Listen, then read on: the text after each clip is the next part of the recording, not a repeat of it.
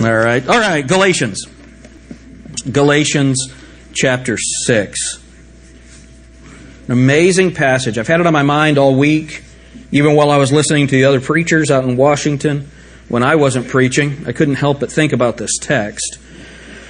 So look at what it says, verse 17. Galatians 6, verse 17. From henceforth, let no man trouble me, for I bear in my body the marks of the Lord Jesus. Read that one more time.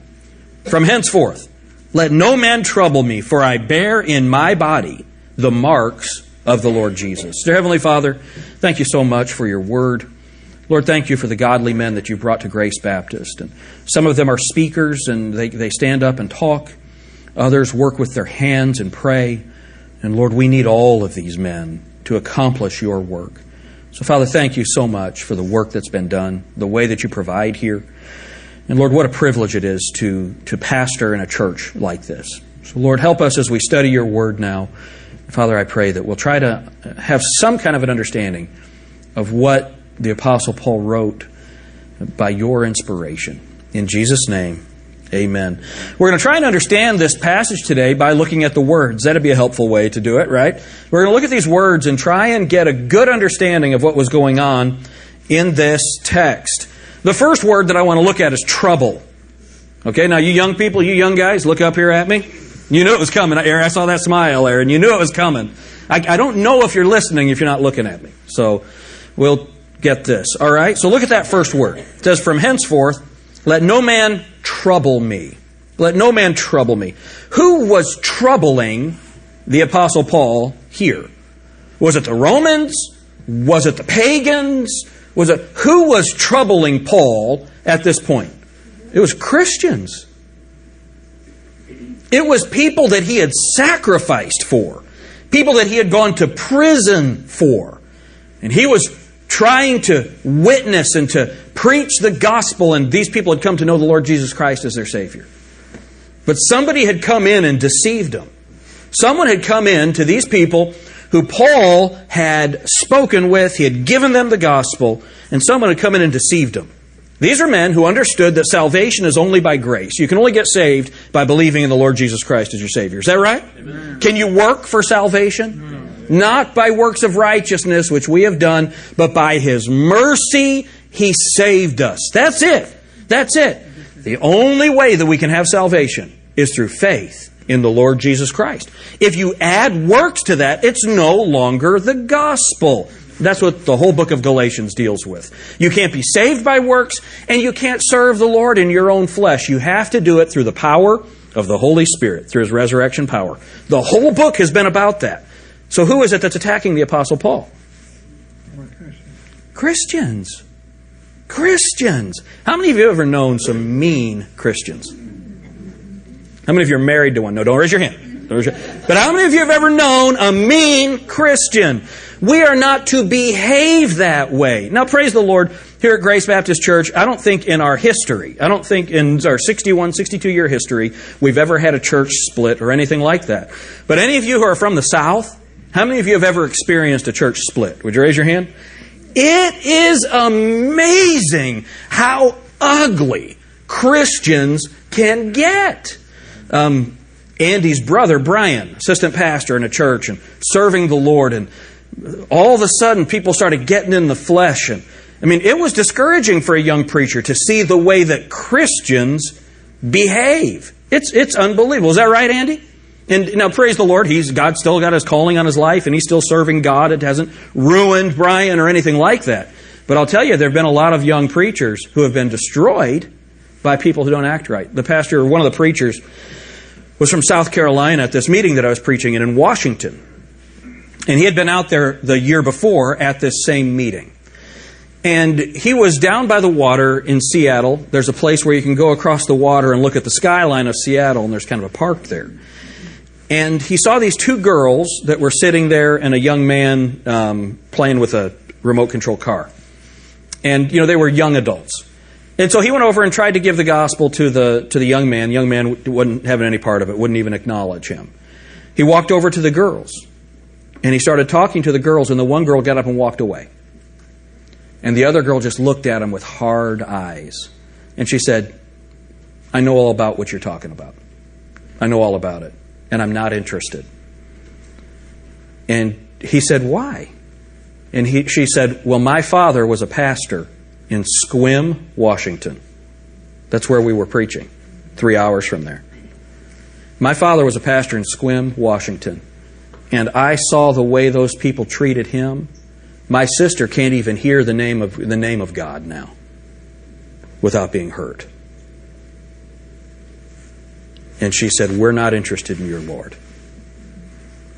Preacher's kids. Because of the way that Christians had treated their father. It's an amazing thing what Christians, people who call themselves Christian, it's amazing the way they can trouble someone. While that pastor was telling that story, I just sat there while he was preaching and I, I just started crying because of how good you are to my kids. How good you are to Laura and I. What a, we, we don't experience any of that. The only abuse Jacob gets is from me.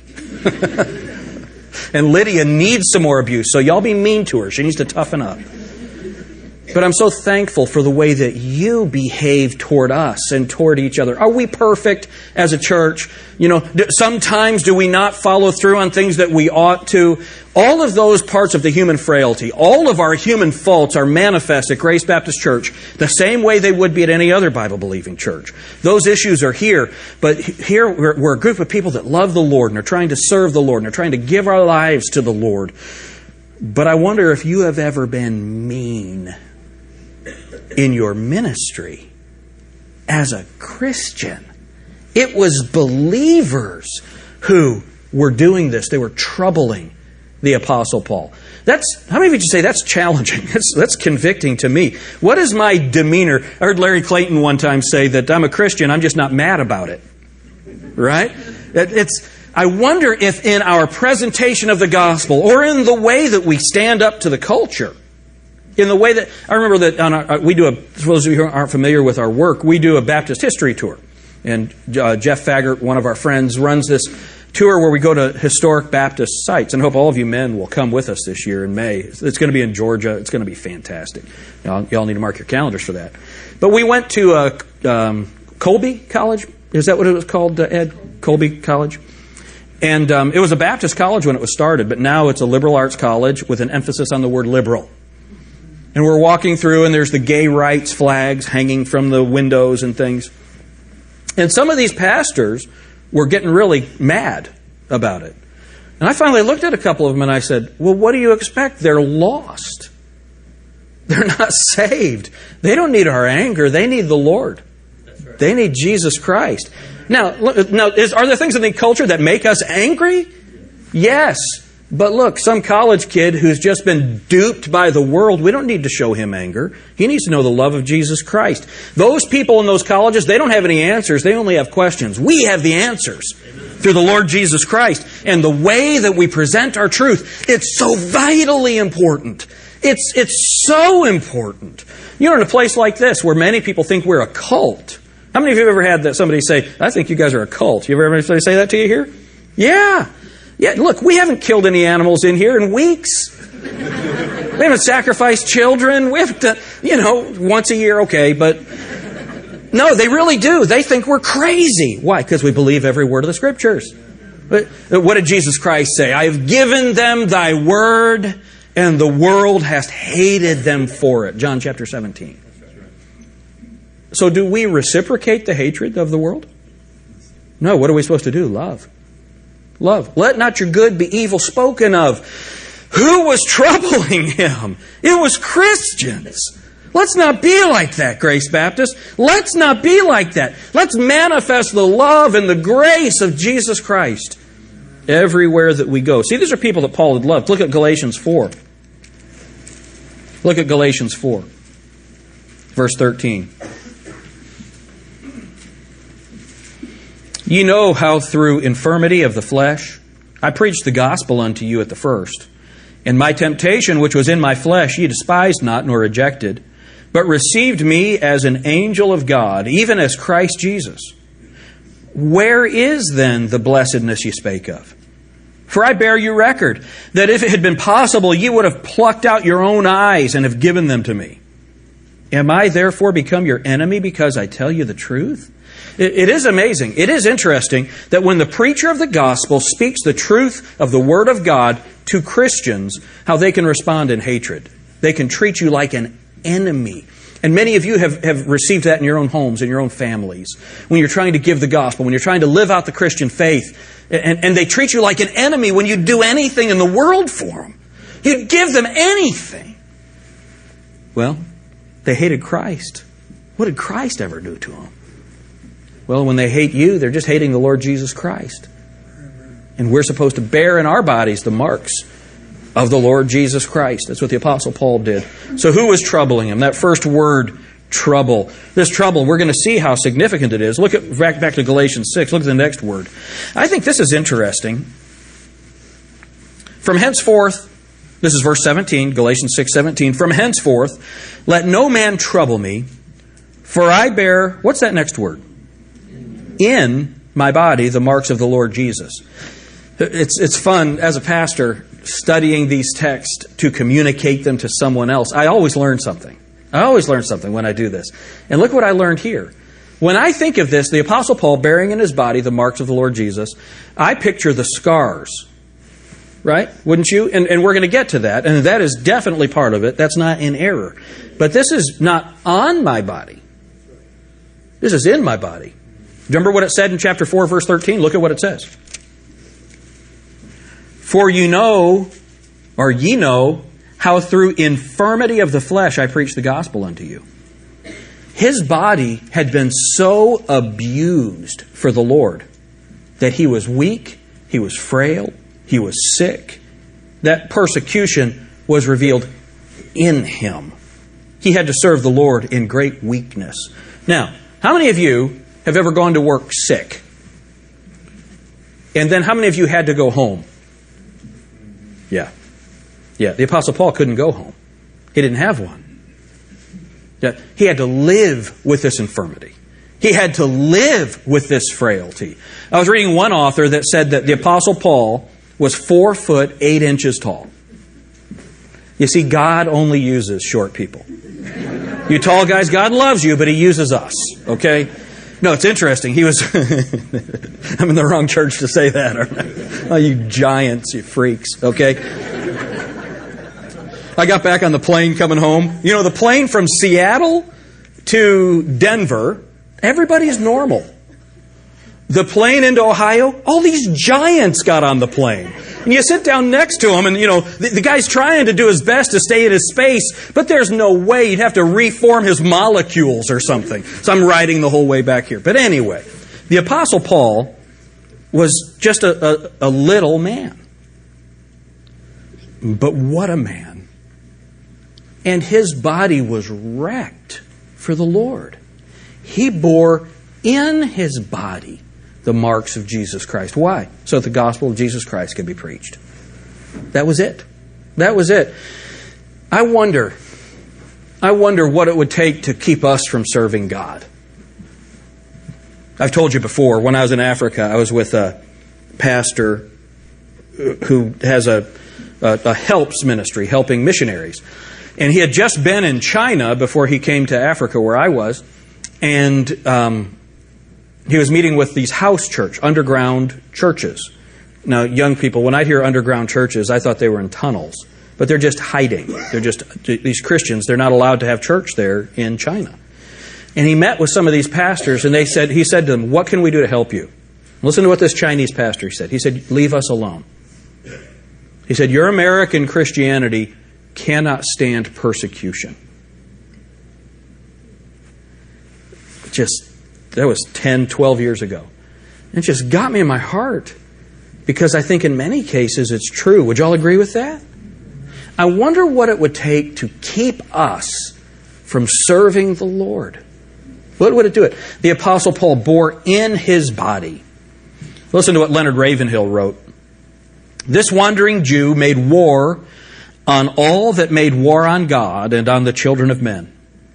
This prince of preachers and his foe, the prince of hell, spared each other no beatings, It was a free for all and no holds barred.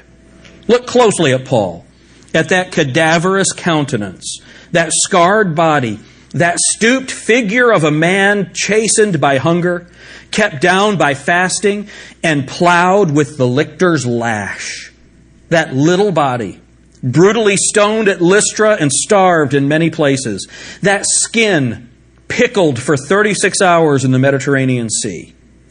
Add to this list danger upon danger, then multiply it with loneliness. Finally, count in the 199 stripes, three shipwrecks, three beatings with rods, a stoning, a prison record, and deaths so many that count is lost.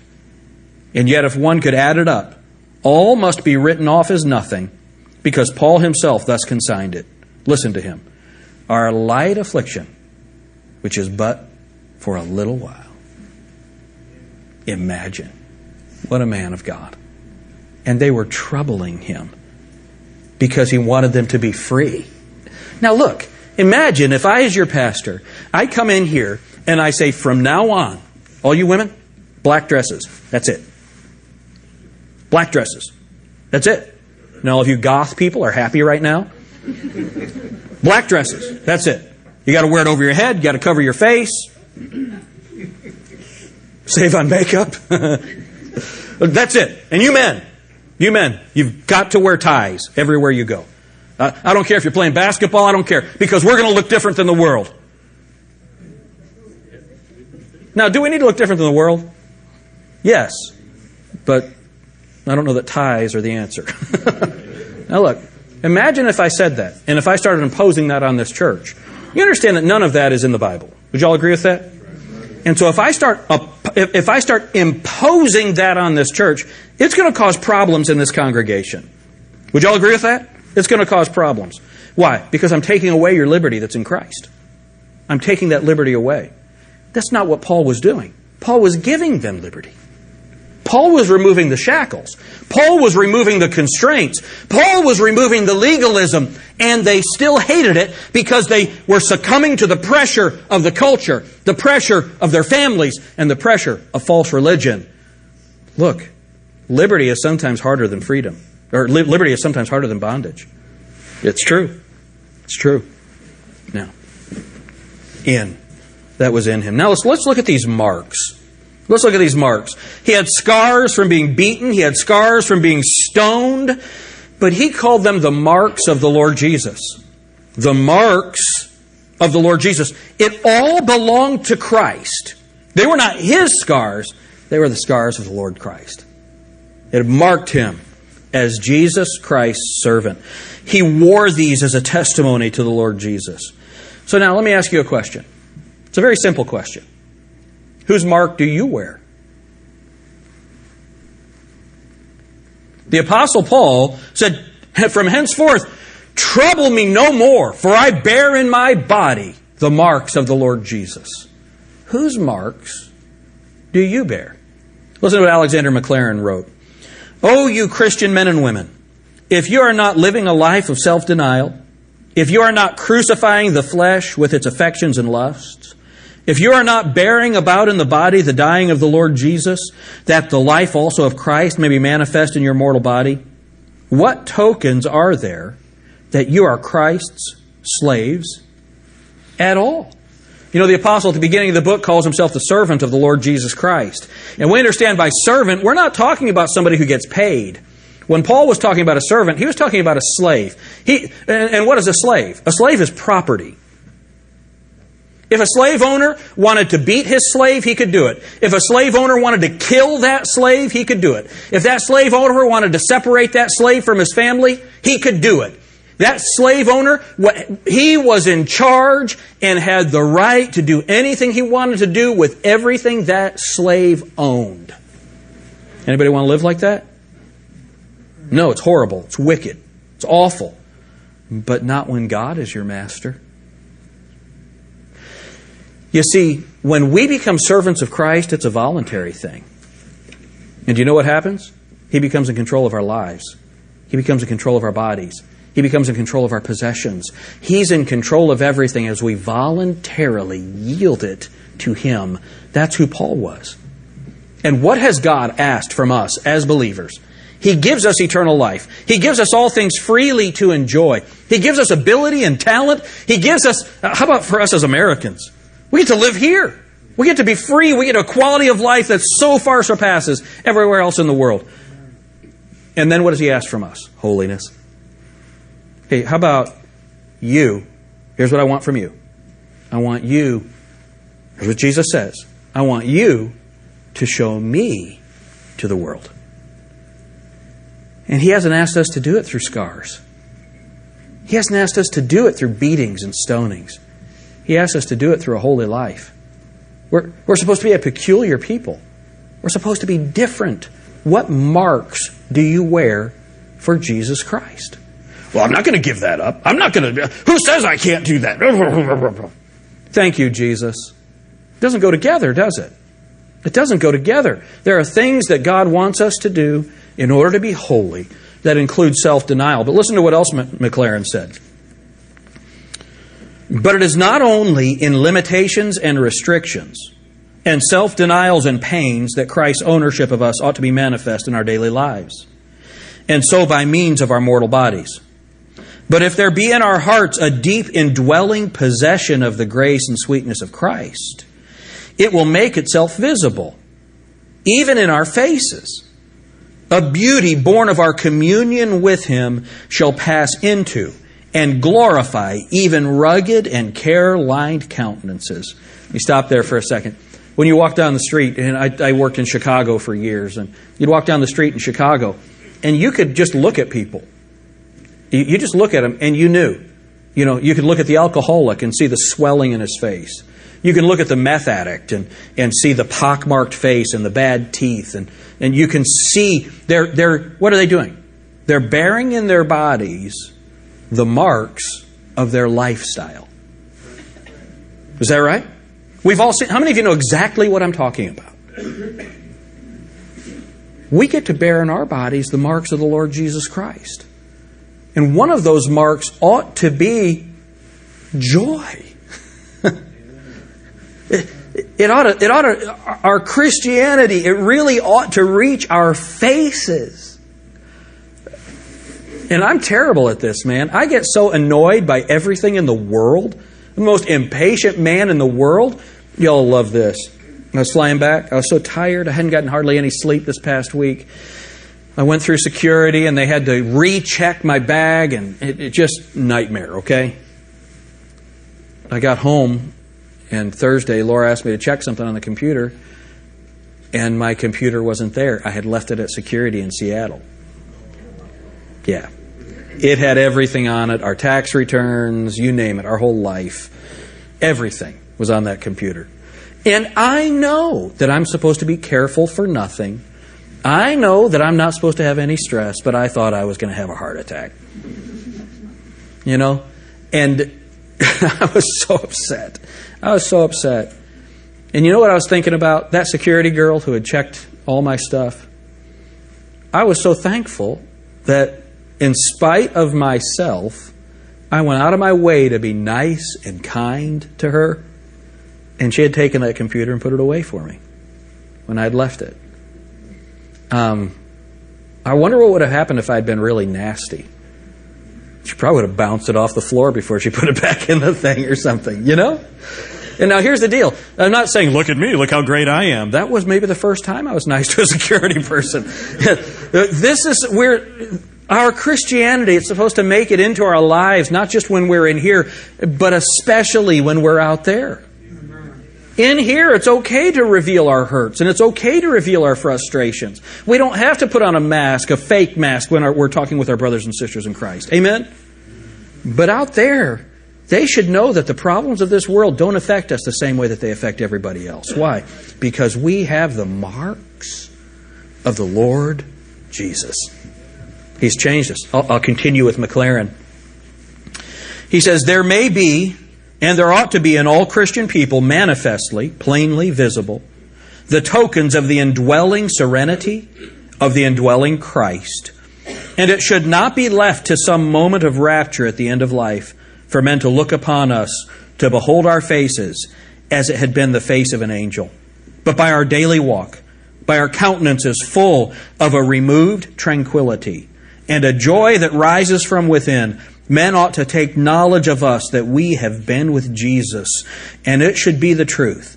I bear in my body the tokens of his possession. I need to bear in my body the marks of Jesus Christ. Has Jesus Christ marked you? Has he marked you with joy? Has he marked you with peace? Has he marked you with forgiveness? Are you able to love because you have been loved? I'll show you something interesting. Keep your place here and go to Leviticus chapter 19. Leviticus 19. It's interesting. This word marks, where Paul says, I bear in my body the marks of the Lord Jesus. There's only one other place in the Bible where the word marks is used. It's interesting. Let's read it. Leviticus 19 and look at verse 28. Ye shall not make any cuttings in your flesh for the dead, nor print any marks upon you. I am the Lord. Only two places in the Bible where the word marks is used. Let's read that again. Leviticus 19:28. Ye shall not make any cuttings in your flesh for the dead, nor print any marks upon you. I am the Lord. Are you bearing the marks of the culture or are you bearing the marks of the Lord Jesus? Who are you representing to the world? It's interesting. Paganism has always included marking your body. It's always included branding your body. It's always included some type of mutilation of your flesh. Why? Because that flesh was created in the image of God. Now, we lost that image at the fall, but the design still reflects Him. It reflects Him. And we as believers, especially, we belong to Him. Now, let me be very clear. Man, if you got a bunch of tattoos and stuff before you got saved, you are as much a Christian as any man or woman who have ever been saved. Amen? If you've got brands, if you've got scars from cutting yourself, praise God, now you're a testimony to the Lord Jesus Christ of what He can do in a person's life. Getting marked or having tattoos, or, you know, you see these guys, how many of you seen, it looks like they have dinner plates in their ears. Well, man, when I was a little kid, that was a National Pornographic. I mean, National Geographic. Remember that? How many remember seeing those when you were a kid? Now you see these kids and they've got these big rings and it's all stretched out in their ears and all this stuff. How many of you think that Christ is causing them to do that? No. No, they're bearing in their bodies the marks of the culture and of the lifestyle. Look, we just need to look like Christians. And we look like Christians in the way that we dress, certainly. Christian ought to look different than the world. We, we, we look like a Christian in the way that we behave. We bear the marks of Christ in the way that we give testimony to His name. And how many of you think that those people who were giving Paul trouble were bearing the marks of Jesus Christ? No. No. This is such an interesting text. And isn't it amazing the contrast in Scripture? The marks of Jesus Christ and the marks of the pagans? God says, don't do that. Don't do that. Let's live like Jesus Christ. Now, I got to tell you, these young people, you guys, you guys are doing great. I appreciate you so much. The stand that you take in your schools, the stands that you take for the Lord. But eventually, someday, somebody's going to say, hey, the whole team is getting, you know, an earring. The whole team is getting a piercing. The whole team is getting a tattoo. You know, the whole team's going to cut off their left leg. We're the hoppies. yeah. Don't, don't succumb to that stuff. You know a good answer for him? You know what? You can wear that mark. I bear in my body the marks of the Lord of the Lord Jesus. Amen. Now again, I would not offend you guys for the world. I wouldn't do it. When I was younger, I probably would have. Not anymore. Not anymore. You know, if you came through a lifestyle and you've got all these tattoos, my brother in law, um, Justin Hall, he pastors out in Colorado, he's got Woody Woodpecker on his arm when he was young. Um, look, I don't care. I don't care about that. But let's now, let's now give our bodies and our minds and our souls and our strength completely to the Lord Jesus Christ. Isn't it a blessing that we can bear marks that identify with Christ? Praise the Lord. The Apostle Paul said, I bear in my body the marks of the Lord Jesus. Don't trouble me anymore. Don't trouble me anymore. I wonder what marks you are wearing. Hey, can we just as a church say, hey, let's let's look like Christ. Let's let's be like Christ. Let's say, Lord Jesus, this world is going farther and farther away from you. But I want to be drawn closer and closer to you. Amen. I want to know you. That I may know him and the power of his resurrection. Uh oh. And the fellowship of his suffering, being made conformable unto his death. That's what Christ has for us. You know what Jesus Christ says to us? Come and die. Oh, but what a life. what a life. Thank you, Lord, for your word. We love you so much. We're so thankful for everything that you do for us.